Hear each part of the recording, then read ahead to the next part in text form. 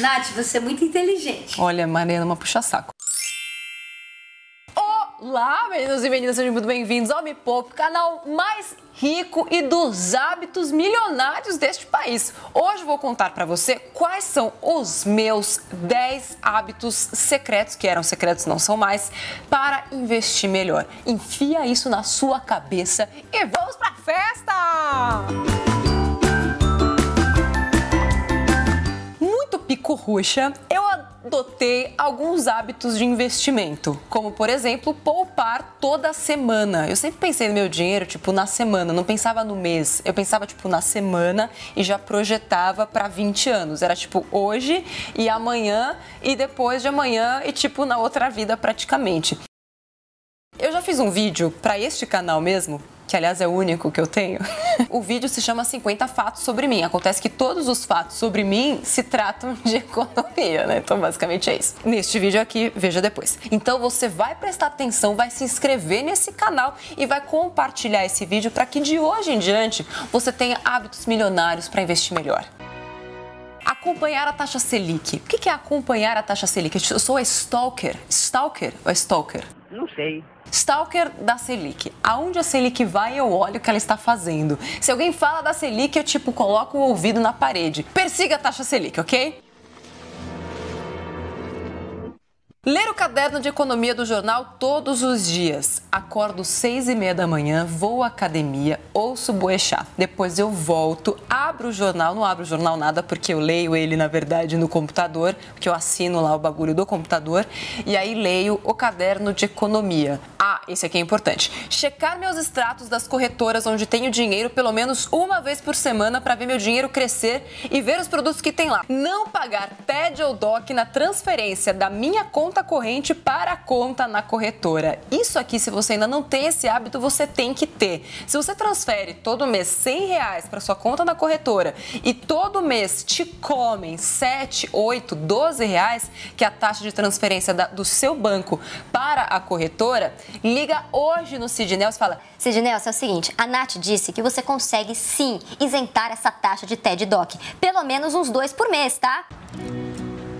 Se você não tem uma conta digital, já falei sobre contas digitais que não cobram esse tipo de taxa neste vídeo. Mas vale a pena, ainda que você não consiga conta digital, que seu banco não tenha, liga no seu gerente. Ele te liga tanto, na verdade, você liga pro seu gerente. Oi, querido, tudo bem? Então, consegue aí para mim pelo menos uns dois TED Doc por mês? Ah, o título de capitalização? Claro! Não, um dia. Ah, hoje não tô podendo, mas um dia eu faço, querido. Enrola o seu gerente, dá um jeito de conseguir essa taxa. Many emotions.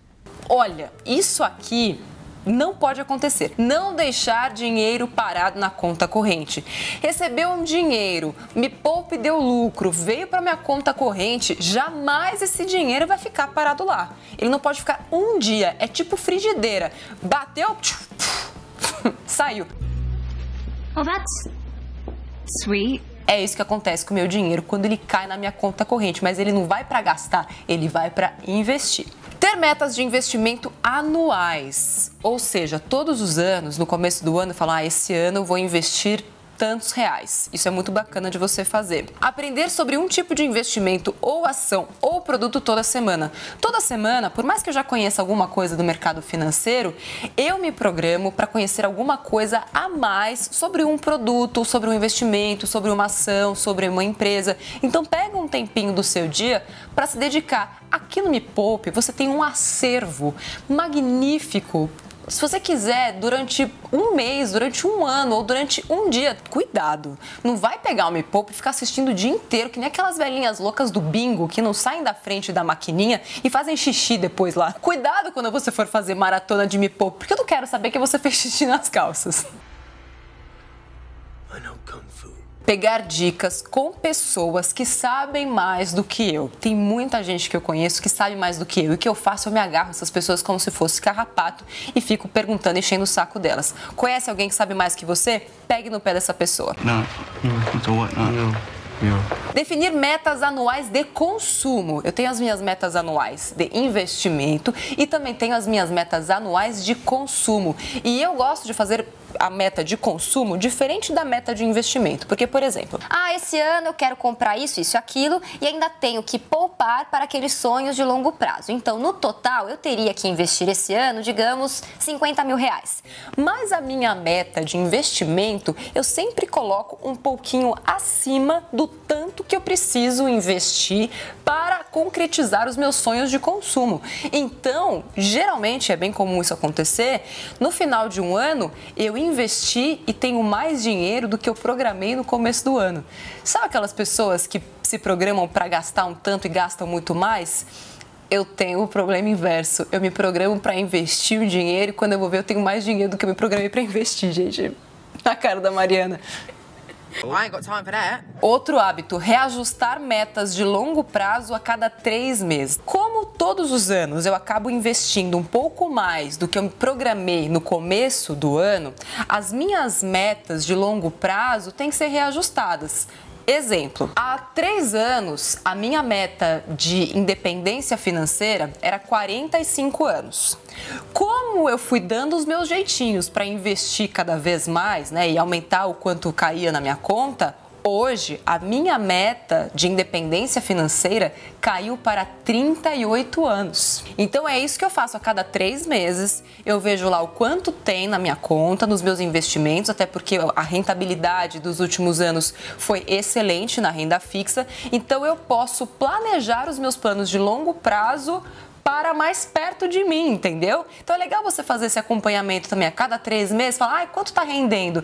Então será que eu preciso colocar mais dinheiro ou será que eu posso antecipar meu prazo para esse plano? Simular meus ganhos com novas taxas. Mariana está entrando nesse universo. Desde pequena, eu simulo o futuro. Então, eu sempre pensei, desde pequenininha, lá quando eu estava juntando dinheiro para guardar meu carro, se eu continuar guardando dois reais todos os dias, quanto eu vou ter no final desse ano? E quanto eu vou ter no final daqui a cinco anos? Só com o passar do tempo, eu descobri o meu filho, né? Adotei juro composto. E aí eu descobri que com o poder dos juros compostos, eu podia brincar com o futuro. Tipo, é meu, meu uma coisa tipo brincar de Deus, uma coisa horrorosa. E você fica no simulador, aliás, no blog do Me Poupe tem vários simuladores. Vou deixar os links aqui embaixo que são incríveis, é muito legal. Você fica lá projetando, ah, se eu conseguir uma taxa de meio por cento ao mês, juntando 500 reais por mês, quanto eu vou conseguir daqui a 20 anos? E se de repente eu conseguir uma taxa de 0,53? E aí você vê que por frações assim, milésimos de dígitos, você consegue impactos impressionantes no futuro simule e seja feliz. Outro hábito doentio que eu tenho. Bolar estratégias para aumentar meus ganhos. Como eu tinha é, objetivos audaciosos, né? eu tinha que bolar estratégias para aumentar meus ganhos. E isso é uma coisa que eu faço sempre. Tá, se eu tenho essa meta aqui de ser independente financeiramente aos 45, com esse salário que eu tenho não vai rolar. Então, o que, que eu vou fazer para ganhar mais dinheiro?